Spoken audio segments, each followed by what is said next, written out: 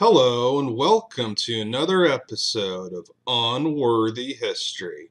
Today we got some more actual history for you from this book right here Narrative of My Captivity Among the Sioux Indians by Fanny Kelly. This book was published all the way back in 1871. Now, today is the first episode in a series I'm going to do on Fanny Kelly and her ordeal when she was captured by the Sioux Indians back in 1864. So, this episode will talk about the actual capture, which took place in Wyoming near Little Box Elder Creek. A train of wagons were coursing their westward way, with visions of the future bright as our own. Sometimes a single team might be seen traveling alone. Our party were among the many small squads emigrating to the land of promise. The day on which our doomed family were scattered and killed was the 12th of July, a warm and oppressive day. The burning sun poured forth its hottest rays upon the great black hills and the vast plains of Montana and the great emigrant road was strewed with men, women, and children, and flocks of cattle, representing towns of adventurers. We looked anxiously forward to the approach of evening, with a sense of relief after the excessive heat of the day. Our journey had been pleasant but toilsome, for we had been long weeks on the road. Slowly our wagons wound through the timber that skirted the little Box Elder Creek, and crossing the stream we ascended the opposite bank. We had no thought of danger or timid misgivings on the subject of Indians, for our fears had been all dispersed by constantly received assurances of their friendliness. At the outposts and ranches we heard nothing but ridicule of their pretensions to warfare, and at Fort Laramie, where information that should have been reliable was given to us, we had renewed assurances of the safety of the road and the friendliness of the Indians. At Horseshoe Creek, which we had just left, and where there was a telegraph station, our inquiries had elicited similar assurances as to the quiet and peaceful state of the country through which we must pass. Being thus persuaded that fears were groundless, we entertained none, and as I have mentioned before, our small company preferred to travel alone, on account of the greater progress made in that way. The beauty of the sunset and the scenery around us filled our hearts with joy, and Mr. Wakefield's voice was heard in song for the last time as he sang Ho for Idaho. Little Mary's low, sweet voice, too, joined in the chorus. She was so happy in her childish glee on that day, as she always was. She was the star and joy of our whole party. We wended our way peacefully and cheerfully on, without a thought of the danger that was lying like a tiger in ambush in our path.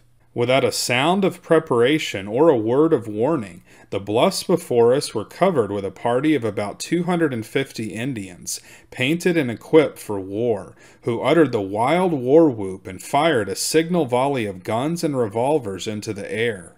This terrible and unexpected apparition came upon us with such startling swiftness that we had not time to think before the main body halted and sent out a part of their force, which circled around us at regular intervals, but some distance from our wagons. Recovering from the shock, our men instantly resolved on defense and corralled the wagons. My husband was looked upon as leader, as he was principal owner of the train.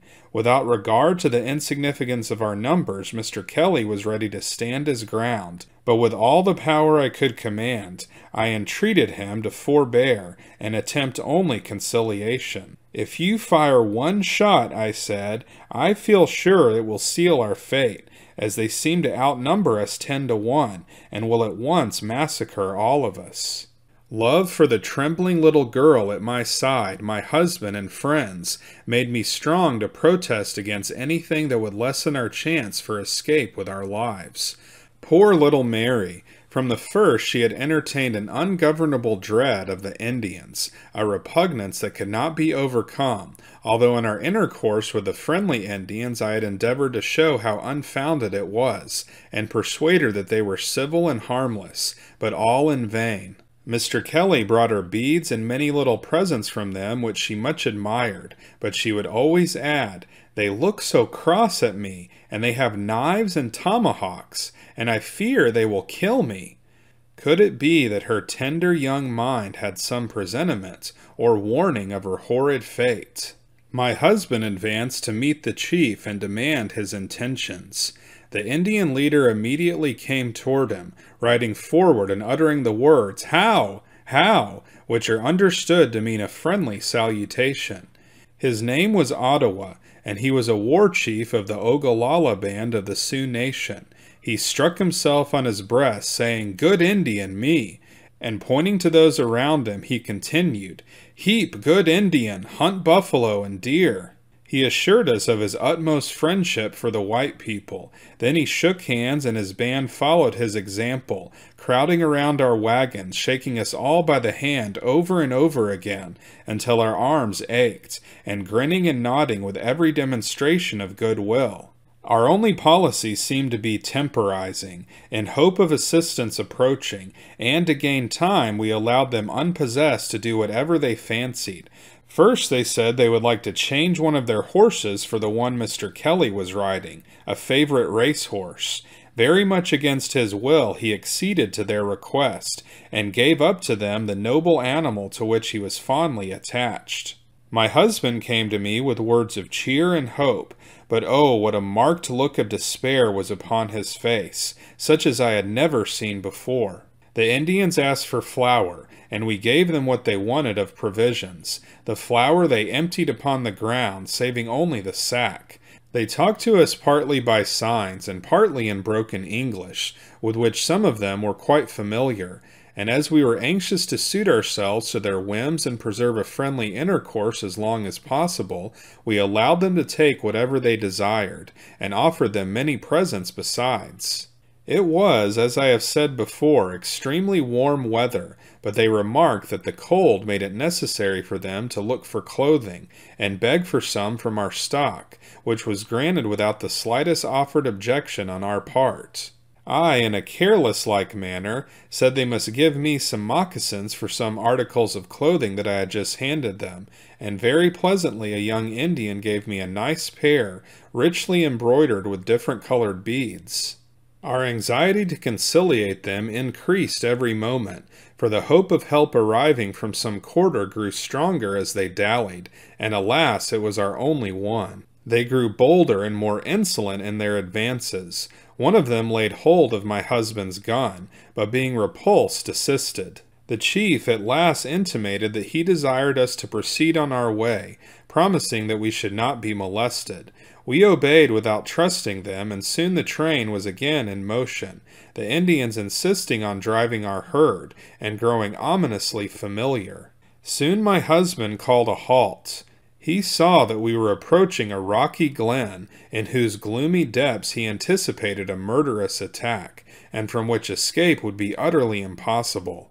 Our enemies urged us still forward, but we resolutely refused to stir, when they requested that we should prepare supper, which they said they would share with us and then go to the hills to sleep.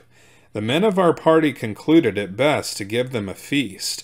Mr. Kelly gave orders to our two black servants to prepare at once to make a feast for the Indians.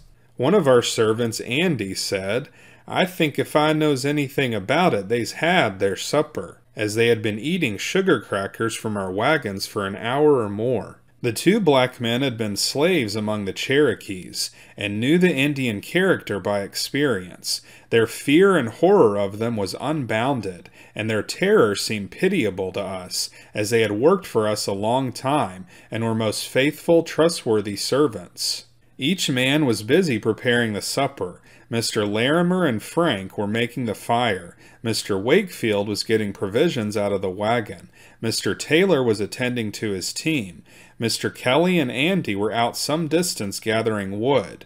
Mr. Sharp was distributing sugar among the Indians. Supper that they asked for was in rapid progress of preparation when suddenly our terrible enemies threw off their masks and displayed their true natures. There was a simultaneous discharge of arms, and when the cloud of smoke cleared away, I could see the retreating form of Mr. Larimer and the slow motion of poor Mr. Wakefield, for he was mortally wounded. My husband and Andy made a miraculous escape with their lives. Mr. Sharp was killed within a few feet of me. I will never forget Mr. Taylor's face as I saw him shot through the forehead with a rifle ball. He looked at me as he fell backward to the ground, a corpse. I was the last object that met his dying gaze. Our poor faithful Frank, our other servant, fell at my feet, pierced by many arrows. I recall the scene with a sickening horror. I could not see my husband anywhere and did not know of his fate, but feared and trembled for the worst. With a glance at my surroundings, my senses seemed gone for a time, but I could only live and endure. I had but little time for thought, for the Indians quickly sprang into our wagons, tearing off covers, breaking, crushing, and smashing all hindrances to plunder, breaking open locks, trunks, and boxes, and distributing or destroying our goods with great rapidity, using their tomahawks to pry open boxes, which they split up in savage recklessness. Oh, what horrible sights met my view! Pen is powerless to portray the scenes that occurred around me. They filled the air with the fearful war whoops and hideous shouts. I endeavored to keep my fears quiet as possible, knowing that an indiscreet act on my part might result in jeopardizing our lives, though I felt certain that we two helpless women would share death by their hands. But with as much of an air of indifference as I could command, I kept still, hoping to prolong our lives, even if but for a few moments. I was not allowed this quiet but for a moment, when two of the most savage looking of the party rushed up into my wagon, with tomahawks drawn in their right hands, and with their left hands they seized me and pulled me violently to the ground, injuring my limbs very severely, almost breaking them, from the effects of which I afterwards suffered a great deal. I turned to my little Mary, who with outstretched hands was standing in the wagon, took her in my arms, and helped her to the ground. I then turned to the chief, put my hand upon his arm, and implored his protection for my fellow prisoner and our children. At first he gave me no hope, but seemed utterly indifferent to my prayers. Partly in words and partly by signs, he ordered me to remain quiet, placing his hand upon his revolver that hung in a belt at his side, as an argument to enforce obedience. A short distance in the rear of our train, a wagon was in sight. The chief immediately dispatched a detachment of his band to capture or to cut it off from us, and I saw them ride furiously off in pursuit of the small party, which consisted only of one family and a man who rode in advance of the single wagon. The horseman in advance was almost immediately surrounded and killed by a volley of arrows. The husband of the family quickly turned his team around and started them at full speed, gave the whip and lines to his wife, who held close in her arms her youngest child. He then went to the back end of his wagon and threw out boxes, trunks, everything that he possessed. His wife, meantime, gave all her mind and strength to urging the forces forward on their flight from death. The Indians had by this time come very near, so that they riddled the wagon cover with bullets and arrows, one passing through the sleeve of the child's dress in its mother's arms, but doing it no personal injury. This terrified man kept the Indians at bay with his revolver, and finally they left him and rode furiously back to the scene of the murder of our train. So that's the end of this story. This is episode one in this series I'm doing on the captivity of Fanny Kelly and her account of it. And so in the next episodes, we'll hear what became of her husband, as well as what became of her during her captivity. So if you want to see more episodes like this, then be sure to like and subscribe and we'll see you next time on Unworthy History.